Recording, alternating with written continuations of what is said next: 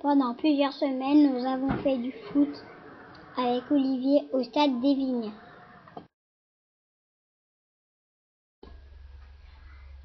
Pour jouer au ballon, on va faire deux équipes et on va avoir des numéros.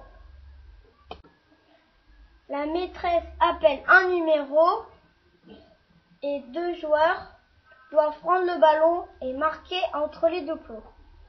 Dans ce jeu, il fallait courir et contrôler le ballon avec les pieds.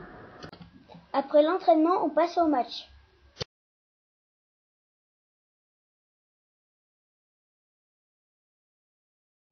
Nous étions en train de faire un match. Nous, ne savons presque pas où était le ballon. Le jour où il faisait pas beau, on était au gymnase. Nous sommes en train de jouer au ballon horloge.